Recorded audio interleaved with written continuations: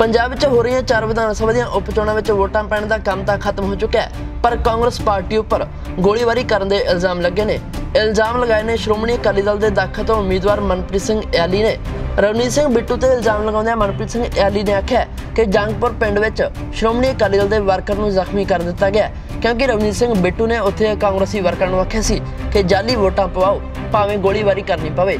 ਇਸ ਤੋਂ ਬਾਅਦ ਹੀ ਕਾਂਗਰਸੀ ਵਰਕਰਾਂ ਨੇ ਗੋਲੀ ਚਲਾਉਂਦਿਆਂ ਇੱਕ ਅਕਾਲੀ ਵਰਕਰ ਨੂੰ ਜ਼ਖਮੀ ਕਰ ਦਿੱਤਾ ਹੈ, ਜਿਸ ਨੂੰ ਸ਼੍ਰੋਮਣੀ ਅਕਾਲੀ ਦਲ ਨੇ ਹਸਪਤਾਲ ਵਿੱਚ ਦਾਖਲ ਕਰਵਾਇਆ ਇਸ ਤੋਂ ਬਾਅਦ ਰਵਨੀਤ ਸਿੰਘ ਬਿੱਟੂ ਤੇ ਕਿਸ ਤਰ੍ਹਾਂ ਇਲਜ਼ਾਮ ਲਗਾਏ? ਮਨਪ੍ਰੀਤ ਸਿੰਘ ਯਾਲੀ ਨੇ, ਤੁਸੀਂ ਖੁਦ ਹੀ ਦੇਖ ਲਓ। ਅੱਜ ਸਵੇਰ ਤੋਂ 100-100 ਗੁੰਡਾ ਲੈ ਕੇ ਹਰ ਬੂਥ ਤੇ ਕਬਜ਼ਾ ਕਰਨ ਦੀ ਕੋਸ਼ਿਸ਼ ਕੀਤੀ ਗਈ। ਅੱਜ ਜਾਨਪੁਰ ਪਿੰਡ ਦੇ ਵਿੱਚ ਸਰ ਰਵਨੀਤ ਸਿੰਘ ਬਿੱਟੂ, ਇਹ ਆਇਆ 5 ਵਜੇ। ਇਹ ਉੱਥੇ ਗੇੜਾ ਦੇਣ ਆਇਆ। ਆ ਕੇ ਉੱਥੇ ਕਹਿ ਕੇ ਗਿਆ ਵੀ ਇੱਥੇ ਜਾਲੀ ਵੋਟਾਂ ਪਾਓ। ਭੋਲੇ ਨੂੰ ਕਹਿ ਕੇ ਗਿਆ ਵੀ ਤੂੰ ਜਾਲੀ ਵੋਟਾਂ ਪਾ, ਹੋਰ ਬੰਦੇ ਨਾਲ ਲੈ ਕੇ ਆ। ਕਰਨ ਵੜਿੰਗ ਸੀਗਾ ਉਹਦੇ ਨਾਲ। ਉੱਥੇ ਵੀ ਤੂੰ ਹੀ ਜਾ, ਵੋਟਾਂ ਪਾਓ, ਜਿਹੜਾ ਮੂਹਰੇ ਅੜਦਾ, ਉਹਦੇ ਚਾਹੇ ਗੋਲੀਆਂ ਮਾਰ ਦਿਓ। ਇੱਕ ਪਿੰਡ ਦਾ ਨੌਜਵਾਨ, ਇੱਕ ਪਿੰਡ ਦਾ ਨੌਜਵਾਨ, ਜਿਹੜਾ ਇੱਕ ਨੈਸ਼ਨਲ ਪਲੇਅਰ ਰਿਹਾ ਖੋ ਖੋ ਦਾ, ਫੁੱਟਬਾਲ ਦਾ ਪਲੇਅਰ ਰਿਹਾ, ਉਸ ਗੁਰਪ੍ਰੀਤ ਸਿੰਘ ਗੋਪੀ, ਉਹਦੇ ਜਿਹੜੀ ਇਹਨਾਂ ਨੇ ਗੋਲੀਆਂ ਮਾਰੀਆਂ ਨੇ, ਇਹਦੇ ਵਿੱਚ ਜਿਹੜਾ ਹੈਗਾ ਭੋਲਾ ਕੌਂਸਲਰ ਦਲਜੀਤ ਸਿੰਘ ਭੋਲਾ, ਉਹਦੇ ਕੋਲ ਆਪਣੇ ਕੋਲੇ ਵੈਪਨ ਸੀਗਾ। ਤੇ ਨਾਲ ਉਹਦੇ ਜਿਹੜੇ ਹੋਰ ਉਹ ਦੱਸੂਗਾ ਕਿਹੜੇ ਕਿਹੜੇ ਸੀਗੇ। ਲੇਕਿਨ ਪਹਿਲਾਂ ਰਵਨੀਤ ਸਿੰਘ ਬਿੱਟੂ ਆ ਕੇ ਗਿਆ।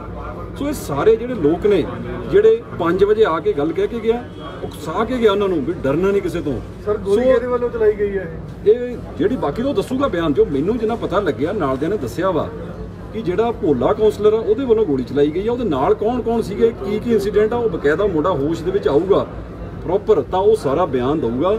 ਲੇਕਿਨ ਇਹਦੇ ਲਈ ਕੈਪਟਨ ਅਮਰਿੰਦਰ ਸਿੰਘ ਤੇ ਜਿਹੜਾ ਉਮੀਦਵਾਰ ਹੈਗਾ ਕੈਪਟਨ ਸੰਦੀਪ ਸਿੰਘ ਸੰਧੂ ਤੇ ਜਿਨੇ ਇੱਥੇ ਉਹ ਗੁੰਡਾ ਤੰਤਰ ਇੱਥੇ ਉਹ ਗੰਦ ਪਾਇਆ ਇੱਕ ਮਹੀਨੇ ਦੇ ਵਿੱਚ ਸਾਡੇ ਲੋਕਾਂ ਦਾ ਜੀਣਾ ਹਰਾਮ ਕੀਤਾ ਸਾਡੇ ਲੋਕਾਂ ਦੀ ਭਾਈਚਾਰਕ ਸਾਂਝ ਖਰਾਬ ਕਰਤੀ ਇਹਨੇ ਤਾਂ ਭੱਜ ਜਾਣਾ 21 ਨੂੰ 24 ਤੋਂ ਬਾਅਦ ਲੱਭਣਾ ਨਹੀਂ। ਪਰ ਜੋ ਇੱਥੇ ਗੰਦ ਜੋ। ਲੱਗਿਆ ਇੱਕ ਚੱਲੇ ਪਤਾ ਨਹੀਂ ਕਿੰਨੇ ਨੇ। ਉਹਦੇ ਲੱਗਿਆ ਇੱਕ ਕੀ ਕੰਡੀਸ਼ਨ ਇਹਨੇ ਮੇਰੀ ਗੱਲ ਸੁਣੋ ਹਜੇ ਉਹ ਡਾਕਟਰ ਟ੍ਰੀਟਮੈਂਟ ਕਰ ਰਹੇ ਨੇ। ਉਹ ਸਾਰਾ ਪ੍ਰਮਾਤਮਾ ਕਿ ਮੈਂ ਤਾਂ ਰੋਜ਼ ਇਸ ਗੱਲ ਦੀ ਅਰਦਾਸ ਕਰਦਾ ਸੀਗਾ ਪ੍ਰਮਾਤਮਾ ਅੱਗੇ ਵੀ ਮੇਰੀ ਇਸ ਇਲੈਕਸ਼ਨ ਦੇ ਵਿੱਚ ਕਿਸੇ ਦਾ ਜਾਨੀ ਨੁਕਸਾਨ ਨਾ ਹੋ ਜਾਵੇ। ਮੈਂ ਹੁਣ ਵੀ ਪ੍ਰਮਾਤਮਾ ਦਾ ਸ਼ੁਕਰਾਨਾ ਕਰਦਾ ਵੀ ਇਹ ਬੱਚੇ ਇਸ ਬੱਚੇ ਦੀ ਨੌਜਵਾਨ ਦੀ ਜਾਨ ਬਚ ਜਾਵੇ।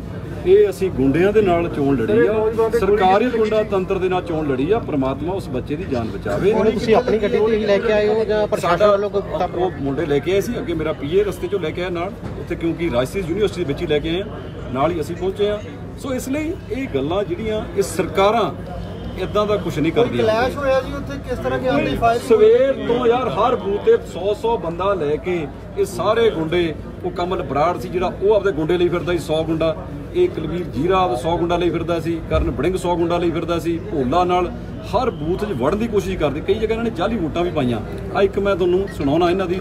ਸੁਣੋ ਮਾੜੀ ਧਿਆਨ ਨਾਲ। ਸਕਰੀਨ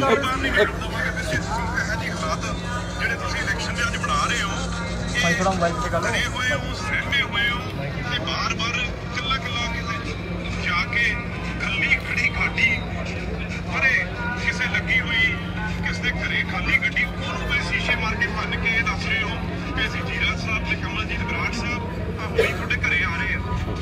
ਤੇ ਹਿੰਮਤ ਦਾ ਜਾਨੀ ਸਾਹਿਬ ਤੁਹਾਡੇ ਘਰੇ ਆ ਰਹੇ ਘਰ ਦੇ ਮੂਹਰੇ।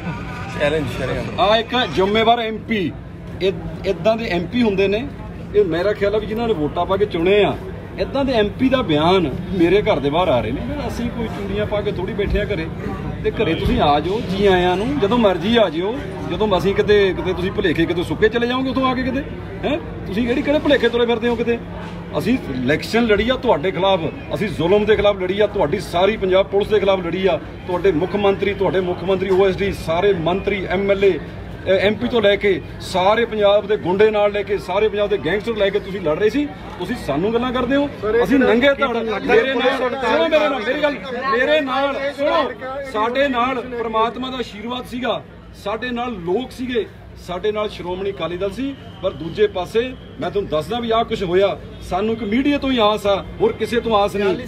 ਸਾਨੂੰ ਤੁਹਾਡੇ ਤੋਂ ਆਸ ਆ ਸਿਰਫ ਸਿਰਫ ਮੀਡੀਆ ਤੋਂ ਆਸ ਆ ਵੀ ਇਨਸਾਫ ਲੈ ਕੇ ਦਿਓ ਇਸ ਨੌਜਵਾਨ ਨੂੰ ਵੀ ਅਤੇ ਪੰਜਾਬ ਦੇ ਲੋਕਾਂ ਨੂੰ ਹਲਕੇ ਦਾਖੇ ਦੇ ਲੋਕਾਂ ਨੇ ਜੋ ਇੱਕ ਮਹੀਨੇ ਦੇ ਵਿੱਚ ਜੋ ਦਰਦ, ਦੁੱਖ, ਜੋ ਤਕਲੀਫਾਂ, ਜੋ ਤਸੀਹੇ ਸਾਡੀਆਂ ਔਰਤਾਂ ਨੂੰ ਜੋ ਧਮਕੀਆਂ ਦਿੱਤੀਆਂ ਗਈਆਂ, ਇਹ ਕੁਲਵੀਰ ਸਿੰਘ ਜੀਰਾ ਕਹਿੰਦੇ, ਤੁਹਾਡੀਆਂ ਔਰਤਾਂ ਨੂੰ ਚੱਕ ਕੇ ਲੈ ਜਾਾਂਗੇ ਜੇ ਬੂਥ ਤੇ ਬੈਠੇ ਹੋ। ਸੋ ਇਹ ਕੁਛ ਇਹਨਾਂ ਨੇ ਕੀਤਾ ਗਿਆ। ਸੋ ਇਹ ਚੀਜ਼ਾਂ ਦਾ ਇਨਸਾਫ ਤੁਹਾਡੇ ਤੋਂ ਸਾਹਿਬ ਅੱਜ ਇਸ ਕੰਡੀਸ਼ਨ ਚ ਕੋਈ ਫਾਇਰਿੰਗ ਮਤਲਬ ਹੋ। ਗਿਆ ਕਿ ਜੇ ਉਹਨਾਂ ਨੂੰ ਪੁੱਛ ਉਹਨਾਂ ਨੇ ਗੋਲੀਆਂ ਮਾਰੀਆਂ ਉਹਨਾਂ ਨੂੰ ਪੁੱਛੋ। ਬੈਂਚ ਬੈਂਚ ਕਲੈਸ਼ ਉੱਥੇ ਕਰਨ ਕੀ ਆਏ ਸੀ? ਪਹਿਲੀ ਮੇਰੀ ਗੱਲ ਸੁਣੋ। ਮੇਰੀ ਗੱਲ ਸੁਣੋ। ਉੱਥੇ ਰਵਨੀਤ ਸਿੰਘ ਬਿੱਟੂ ਬੂਥ ਤੇ ਜਾ ਸਕਦਾ ਸਰਪੰਚ ਸਾਹਿਬ ਬੋਲਣਗੇ। ਨਹੀਂ ਜਾ ਸਕਦਾ ਨਾ। ਤੁਹਾਨੂੰ ਅਸੀਂ ਵੀਡੀਓ ਦਿਖਾਉਨੇ ਆ ਉੱਥੇ ਗਿਆ। ਕੀ ਭੋਲਾ ਉੱਥੇ ਜਾ ਸਕਦਾ? ਤੁਸੀਂ ਦੱਸੋ ਜਾ ਸਕਦਾ? ਵੈਪਨ ਲੈ ਕੇ ਜਾ ਸਕਦਾ ਜੀ? ਤੁਸੀਂ ਗੱਲਾਂ ਕਿਹੜੀ ਕਰਦੇ ਤੁਸੀਂ ਦੱਸੋ ਜੀ। ਨਹੀਂ ਜਾ ਸਕਦੇ ਨਾ? ਦੱਸੋ ਸਾਡਾ ਕੀ ਕਸੂਰ ਆ? ਇੱਕ ਪਿੰਡ ਜਾਂ ਹੋਵੇ ਜਾਂ ਹੋਵੇ ਵੀ ਸਾਡੇ ਕਿਸੇ ਵਰਕਰ ਹੋਵੇ ਵੀ ਅਸੀਂ ਬਾਹਰੋਂ ਬੰਦੇ ਬੁਲਾਏ ਸੀ ਉਹਨਾਂ ਝਗੜਾ ਪਿੰਡ ਦੇ ਮੁੰਡੇ ਦੇ ਗੋਲੀਆਂ ਮਾਰੀਆਂ ਗਈਆਂ। ਪਿੰਡ ਦਾ ਨੌਜਵਾਨ ਸਪੋਰਟਸਮੈਨ ਆ ਖਿਡਾਰੀ ਆ ਬੂਥ ਤੇ ਬੈਠਾ ਵਾ। ਉੱਥੇ ਜਦੋਂ ਕਬਜ਼ਾ ਕਰਨ ਮੂਹਰੇ ਖੜਿਆ ਤੇ ਗੋਲੀ ਮਾਰ ਦਿੱਤੀ ਗਈ। ਇਸ ਤੋਂ ਵੱਡਾ ਜ਼ੁਲਮ ਕੀ ਹੋ ਸਕਦਾ? ਇਹਨੇ ਹੋਰ ਮੂਹਰੇ ਰੋਕਣਾ ਹੀ ਨਾ ਵੀ ਰੋਕਣ ਦੀ ਕੋਸ਼ਿਸ਼ ਕੀਤੀ ਜਾਲੀ ਵੋਟ ਪਾਉਣ ਰੋਕਣ ਦੀ ਕੋਸ਼ਿਸ਼ ਕੀਤੀ ਤਾਂ ਉਹਦੇ ਗੋਲੀ ਮਾਰ ਦਿੱਤੀ ਗਈ। ਬੂਥ ਦੇ ਅੰਦਰ ਹੋਇਆ ਕਿ ਬਾਹਰ ਹੋਇਆ? ਨਹੀਂ ਇਹ ਤਾਂ ਉਹ ਦੱਸੂਗਾ ਨਾ ਮੈਂ ਕਿਹੜਾ ਮੌਕੇ ਤੇ ਖੜਾ ਸੀ ਮੈਂ ਤਾਂ ਜਿੰਨੀ ਗੱਲ ਪਿੰਡ ਵਾਲੇ ਨੇ ਸਰਪੰਚ ਸਾਹਿਬ ਨੇ ਸਾਰਿਆਂ ਨੇ ਦੱਸੀ ਸਰਪੰਚ ਸਾਹਿਬ ਨਾਲ ਹੀ ਖੜੇ ਨੇ। ਸਾਹਿਬ ਨਾਲ ਹੀ ਖੜੇ ਆ। ਹਾਂ। ਉਹਨਾਂ ਇਹ ਕੁਝ ਹੋਇਆ ਵਾ ਸੋ ਇਸ ਲਈ ਇਹ ਅੱਤ ਤੇ ਖੁਦਾ ਦਾ ਵੈਰ ਹੁੰਦਾ ਵਾ। ਪਰਮਾਤਮਾ ਤੋਂ ਡਰਨਾ ਬੜਾ ਜ਼ਰੂਰੀ ਆ ਸਰਕਾਰਾਂ ਆਉਂਦੀਆਂ ਜਾਂਦੀਆਂ ਰਹਿੰਦੀਆਂ ਨੇ ਰੱਬ ਤੋਂ ਡਰਨ ਦੀ ਲੋੜ ਆ। ਰੱਬ ਤੋਂ ਡਰੋ ਰੱਬ ਤੋਂ। ਪਰਮਾਤਮਾ ਤੋਂ ਡਰੋ ਇਹਨਾਂ ਮੈਂ ਬੇਨਤੀ ਕਰਦਾ ਐਮਪੀ ਬਣ ਹੋ ਐਮਐਲਏ ਮੰਤਰੀ ਬਣ ਗਏ ਹੋ ਜੀ। ਰੱਬ ਤੋਂ ਡਰੋ ਪਰਮਾਤਮਾ ਤੋਂ ਡਰੋ ਬਸ। ਸਭ ਤੋਂ ਵੱਡੀ ਗੱਲ ਆ ਵੀ ਰੱਬ ਤੋਂ ਡਰ ਕੇ ਚੱਲੋ। ਹਾਂ। ਰੱਬ ਤੋਂ ਡਰੋ।